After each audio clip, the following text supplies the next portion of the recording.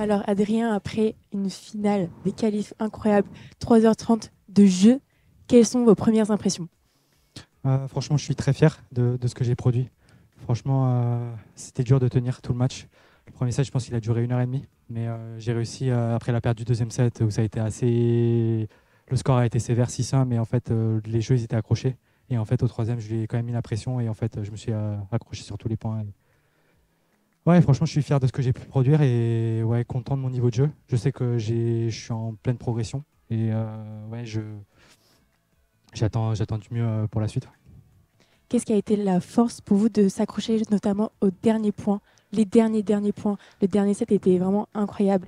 Qu'est-ce qui a permis de tout balancer le jeu? Bah, En fait, je me parlais beaucoup à moi-même. Je pense que j'ai toujours été euh, j'ai toujours été au, point par point. En fait, même si je perdais un point un peu bêtement, j'étais toujours focalisé et en fait je, me conditionnais pour le prochain point et chaque point en fait ça a été une bataille et en fait euh, j'ai pu euh, m'offrir des opportunités.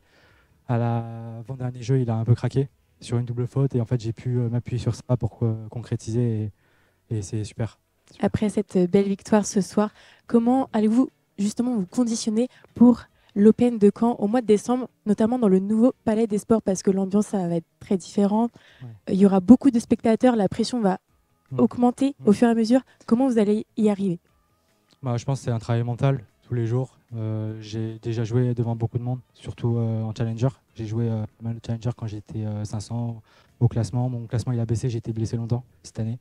Donc là j'ai repris je reprends du poil de la bête, comme on dit, et euh, je remonte en puissance et ça me dérange pas. Le monde. Moi, c'est une adrénaline. C'est pas une pression pour moi. Franchement, euh, c'est que du bonheur et euh, j'aurai ma carte à jouer et ouais, je vais donner tout ce que j'ai. Merci beaucoup.